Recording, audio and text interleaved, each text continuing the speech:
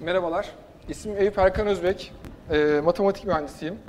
Uzun yıllar e, telekomünikasyon ve bankacılık sektörlerinde çalıştım. Yaklaşık 3 yıldır da ETS Tur'da çalışıyorum. ETS Tur'da veri bilimi ve analitiği departmanı yöneticisiyim. Aynı zamanda ARGE yöneticisiyim. E, sunuma başlamadan önce e, organizasyonun düzenlenmesinde katkıda bulunan başta Sayın Yardımcı Doçent Doktor Mehmet Gönen ve Sayın Yardımcı Doçent Doktor Barış Akgün olmak üzere herkese teşekkür ediyorum.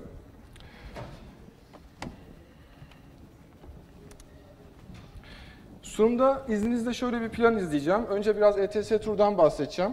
Sonrasında e, veri bilimiyle ilgili neler yapıyoruz, neler projelerimiz neler, neleri yapmayı planlıyoruz.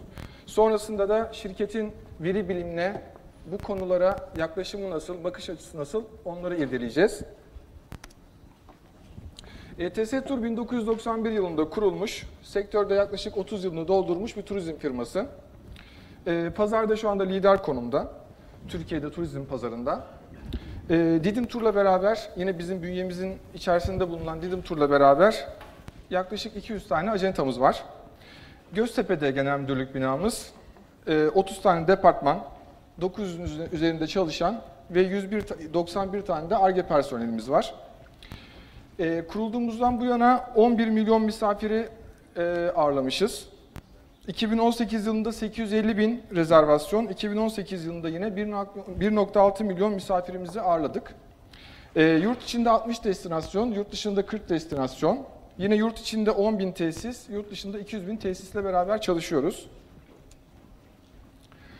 E, ürün gamı çok geniş aslında. E, otel ve tatil köyleri, e, yurt dışı turlar, rehberlik hizmetleri, gemi turları, e, ulaşım, araç kiralama, otel havalimanı transferleri, kurumsal seyahat ve organizasyonlar ve uçak bilet hizmetleri. En bilinen marka ETS Tur ama bu çatı altında aslında birçok marka var. E, bunları çok kısa irdeleyelim. ETS Tur amiral gemisi, demin sattı, e, bahsettiğim ürünlerin aslında hepsini bünyesinde barındıran, müşterilerine sunan bir firma. Yine Odamax bizim e, aslında bir daha emekleme döneminde ve yurt dışına açılma hedeflerimiz doğrultusunda bizim için önemli bir mihenk taşı.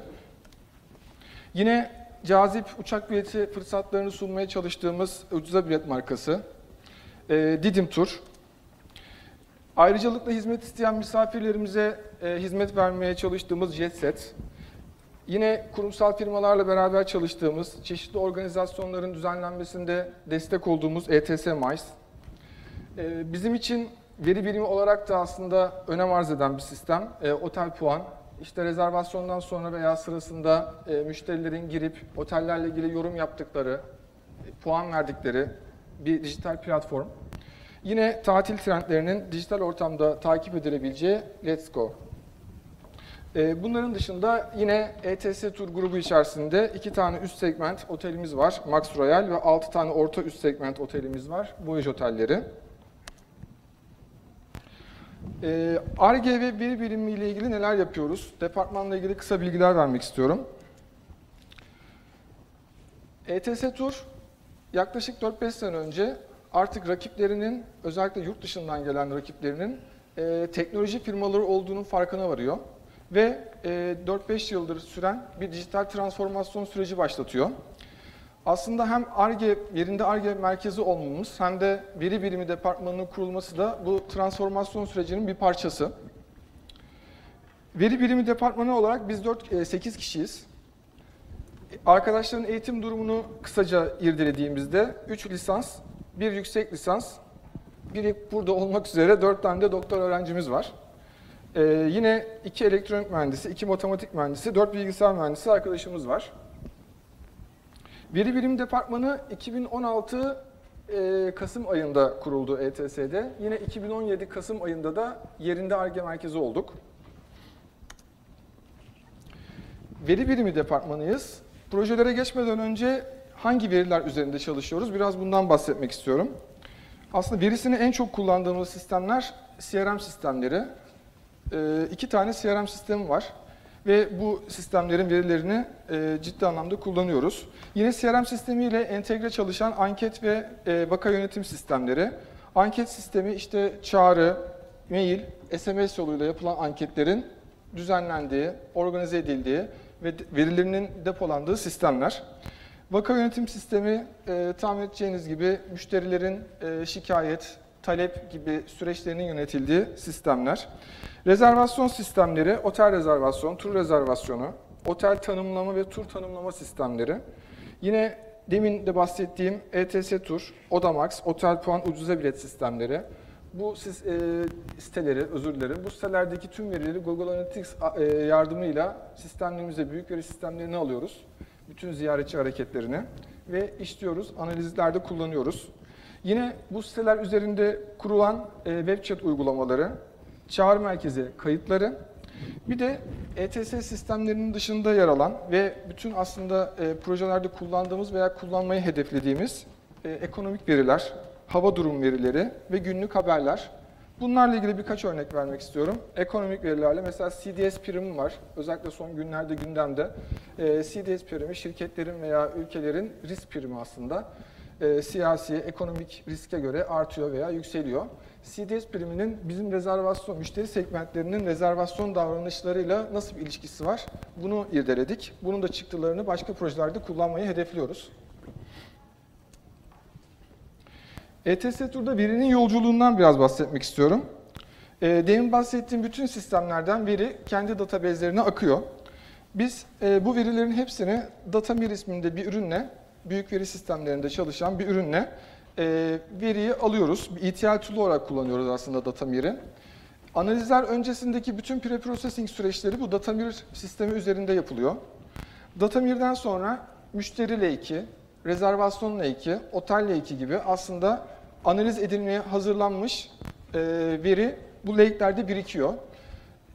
Projelerde çalışan arkadaşlarımız istediği veriyi bu lake'lerden alıp projelerinde kullanabiliyor. Çeşitli algoritmaları, modelleri e, e, kurarak, kullanarak.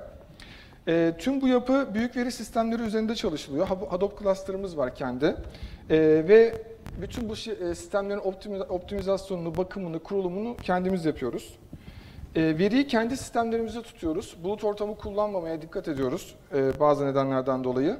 Sadece GPU, TPU e, gibi e, araçları kullanmamız gerektiğinde e, bulut ortamına kullan, kullanabiliyoruz.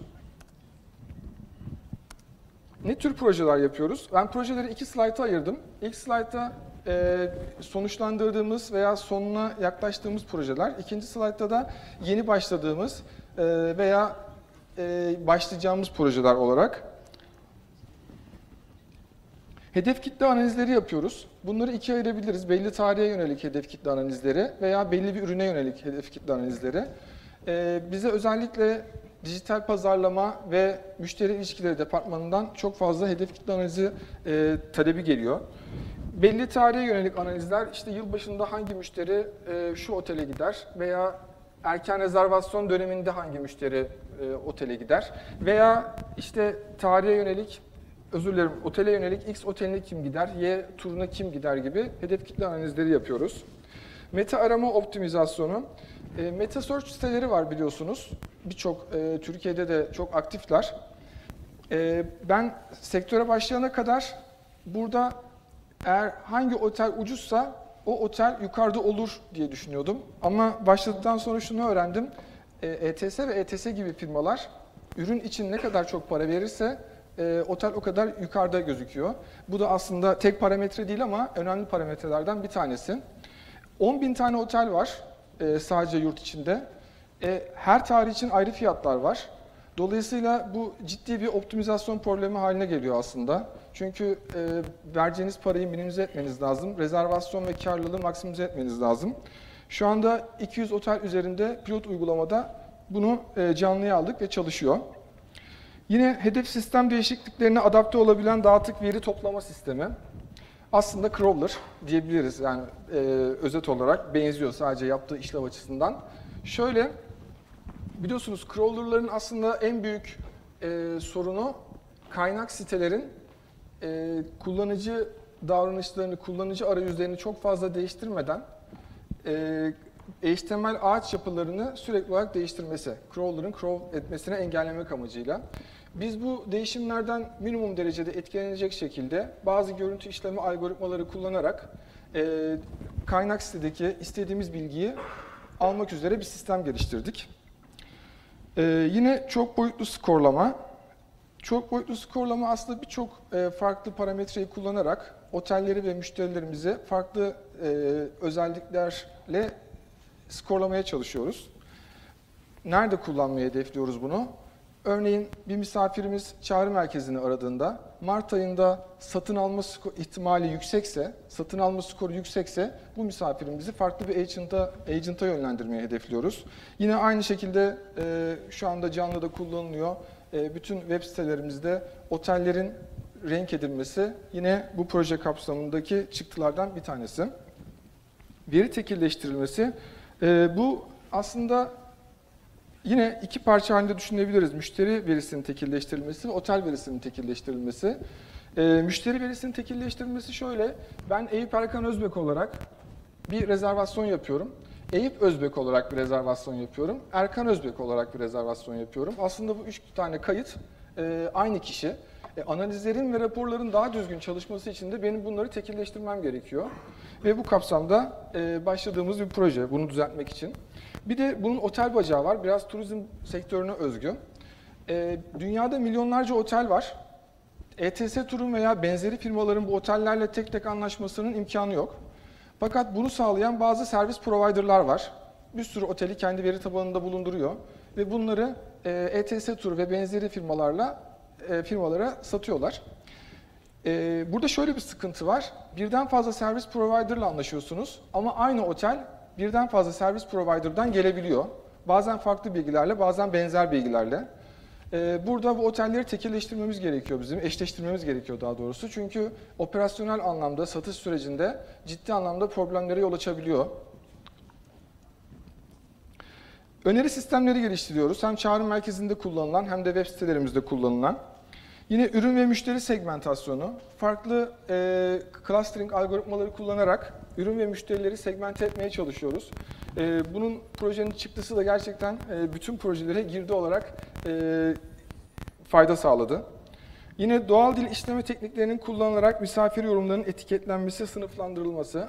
Bu aynı zamanda e, farklı özellikler de katarak bir TEDP başvurusu yaptık. Şu anda değerlendirme sürecinde bu aralar sonuçlanmasını bekliyoruz. E, müşteri ilişkileri departmanımız var. Binlerce kişi anket yapıyorlar her gün e, çağrı, SMS veya e-mail yoluyla. E, burada elde edilen değerli verinin, daha doğrusu yorum verisinin e, her gün okuyorlar. Yani şöyle söyleyeyim size, haftada 4 kişi 40 bin tane yorum okuyor ve bunları farklı farklı e, sınıflara ayırıyor. İşte bu havuzla ilgili, bu e, binayla ilgili, bu denizle ilgili şeklinde veya olumlu, olumsuz. Ee, bunu yine biz e, NLP algoritmaları kullanarak e, otomatize etmeye çalışıyoruz. Bunda en başta bir %80 e, civarında başarı elde ettik. Sonra iş ürünlerinin verdiği feedbacklerle geliştirerek şu anda %90 başarı oranıyla doğru sınıflara ayırabiliyoruz, etiketleyebiliyoruz. Yine deminki slaytta bahsetmiştim, verinin uzun bir yolculuğu var aslında.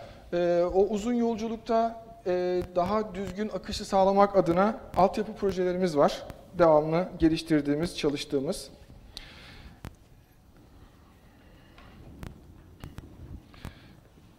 Bu slayttaki projeleri de yeni e, iş bilimlerinden gelen talepler, teknolojiden gelen talepler çerçevesinde başlamayı planlıyoruz ya da başladık.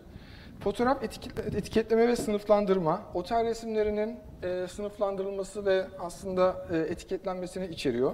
Yine çağrı merkezinde oluşan kayıtların etki, e, duygu analizi, konuşmaların metni, konuşma metinlerinin e, özür dilerim konuşmaların metne çevrilmesi, sohbet robotu.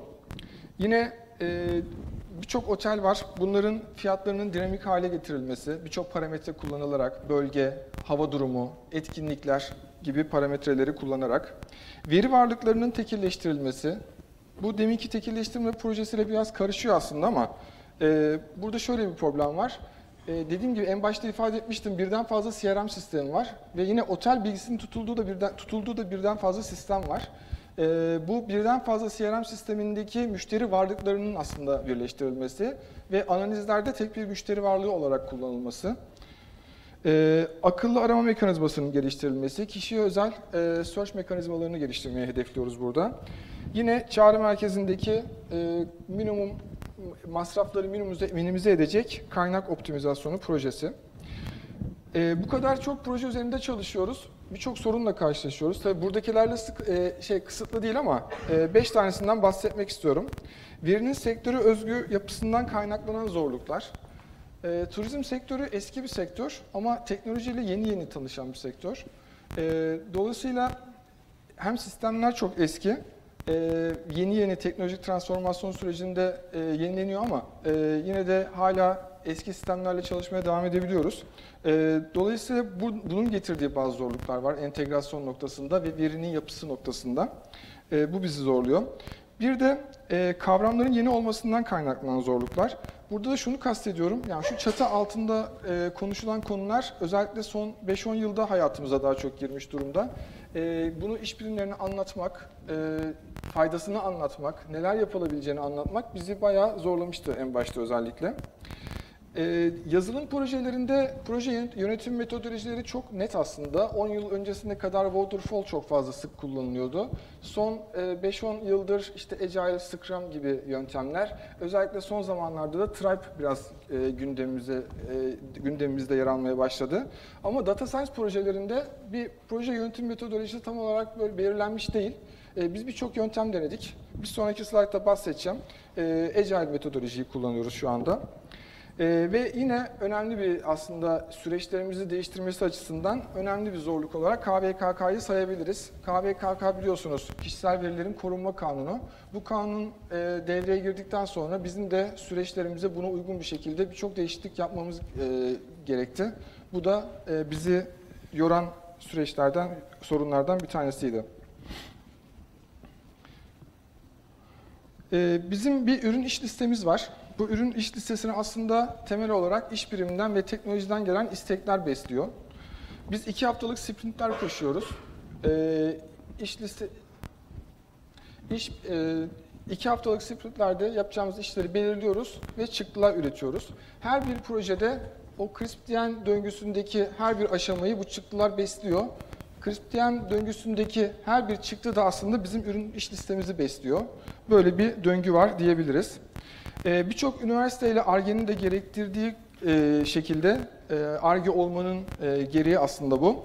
E, proje işbirliklerimiz var. Gebze Teknik Üniversitesi, Işık Üniversitesi, İstanbul Şehir Üniversitesi ve İstanbul Teknik Üniversitesi ile. Bunlar çok uzun süreli çalıştığımız üniversiteler ama bunların dışında da çalıştığımız kurumlar ve üniversiteler var. İşimizin güzel yanlarından bir tanesi, şirket de bunu destekliyor. Her projenin sonunda diyebilirim neredeyse makale yazıyoruz ve şu ana kadar 5 tane makalemiz farklı yerlerde yayınlandı. İki tanesi de değerlendirme aşamasında. Ee, şirket gerçekten ARGE'yi, veri bilimini, teknolojiyi destekliyor. Ee, bunlardan kısaca bahsetmek istiyorum. Yüksek lisans ve doktora öğrencilerine bir gün, haftada bir gün gidip üniversitede çalışmalarını yapmaları için izin veriyor, ücretli izin. Ee, yine doktora ve yüksek lisans programını tamamlayan öğrencilerin ödüllendirilmesi, e, makalelerin ödüllendirilmesi, proje fikir sahiplerinin eğer proje gerçek yani proje geliştirilmeye karar verilirse bunların ödüllendirilmesi, TEDEP Avrupa Birliği gibi e, fonların desteklediği projelerin tamamlandıktan sonra ekibin ödüllendirilmesi, patent başvurularının ve tescillerinin ödüllendirilmesi ve anlaşmalı üniversitelerle yüksek lisans desteği. İşe alımda aradığımız özelliklerden bahsedelim. Slide'ın başında bahsetmiştim e, arkadaşların profilinden. Hepsi mühendis kökenli arkadaşlar. E, biz de genel olarak mühendislik, matematik, istatistik bölümlerinden mezun arkadaşlarla çalışmak istiyoruz. Yine bu çatı altında konuşulan konuların hepsi maalesef Türkiye'de son 2-3 yıl saymazsak genelde yüksek lisans doktora düzeyinde konuşuluyor, tartışılıyor. E, biz de dolayısıyla yüksek lisans e, doktora eğitimini e, arıyoruz. E, Python dilini kullanıyoruz e, geliştirmelerimizi yaparken ve Python ve R diline hakim arkadaşlarla çalışmak istiyoruz. Sektörden e, kaynaklı veri gerçekten çok kirli. dolayısıyla kirli veriyle çalışmayı seven, araştırmayı seven arkadaşlar bizim için önemli. bir de işimizin gereği, doğası gereği birçok iş birimiyle beraber çalışıyoruz. Aynı zamanda teknoloji çatısı altında farklı departmanlarla çalışıyoruz. Dolayısıyla proje yönetim metodolojilerine e, hakim, genel yazılım standartları ile bilgi sahibi, e, veri tabanı, yazılım geliştirme araçları, web teknolojileri ile ilgili terminolojilere, terminolojilere hakim ve iletişim yeteneği güçlü arkadaşlarla çalışmayı e, istiyoruz. Teşekkürler.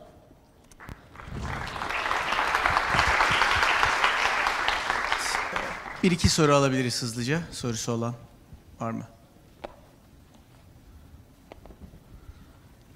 Yok sanırım. Teşekkürler. Geçmiyorum. Ee, ben size bir şey takdim edeceğim.